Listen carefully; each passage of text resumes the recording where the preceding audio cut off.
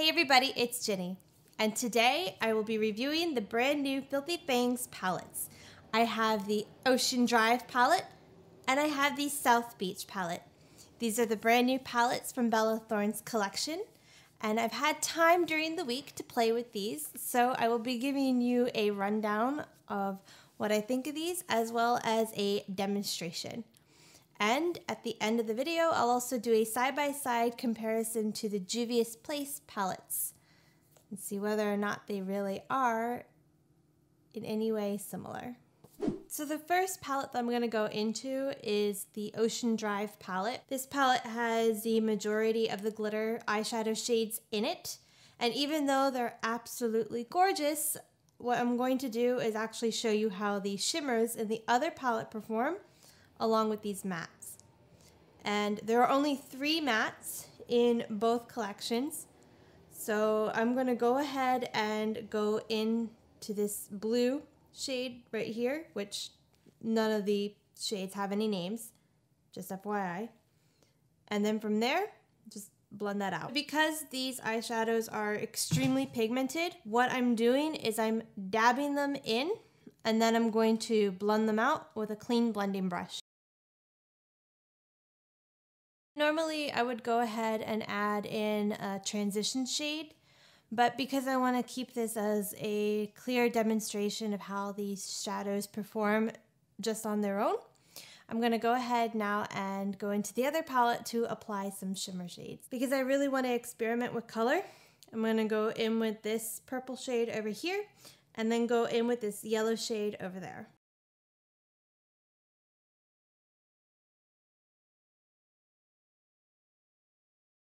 So now I'm going to go in with the most obvious choice for an inner corner highlight, and that's this white shade right here.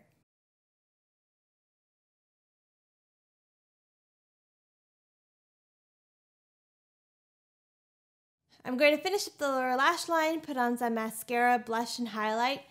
I'll give you my opinion on the South Beach palette as well as the Ocean Drive palette. All in all, I like both of these palettes quite a bit. Of all the shades in this palette, I did have trouble with this shade over here.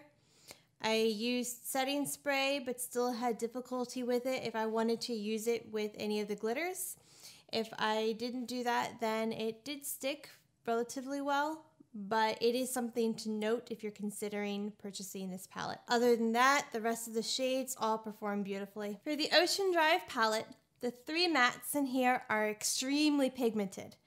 You might want to use another shade from a different palette as a transition shade. For the glitter shades, they are absolutely stunning. And I think that they must have a little bit of adhesive to help them stick because applying them on my eyes was extremely easy.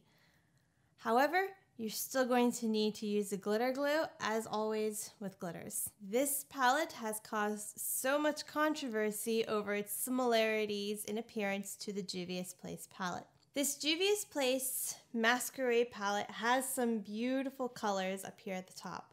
And yes, there are some similarities in the colors, but that similarity is so slight that I really don't think that there was any intentional copying going on. The shimmer shades in here are stunning.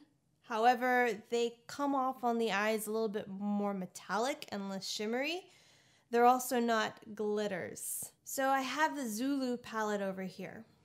Now let's talk about the similarity in packaging. Both Filthy Fangs palettes do have a strikingly similar resemblance to the Zulu palette. They're both large 9 pan palettes and they're both within cardboard packaging. I don't think that it was an intentional steal. I really don't. What it comes down to is the fact that when it comes to manufacturing palettes in cardboard packaging, there's really only so many ways in which you can go about it. I think that Bella really wanted to have large pans, and it just so happened to be that almost similar sized pans occur in the Zulu palette. When it comes to the net weight of both of these palettes, this one is 34.6 grams, while this one is 36 grams. So there's slightly more product in here and it probably comes down to a standard size pan as opposed to anything else. So are these palettes really worth it? If you're a Bella Thorne fan, like myself, the answer is probably yes. The eyeshadows in here are good quality, and I definitely think she put a lot of time and effort into making sure that she had a good formula. If you're not a fan of glitter eyeshadow or shimmer eyeshadows, colorful eyeshadows, this will be a pass for you. Hopefully my review was helpful. Until next time.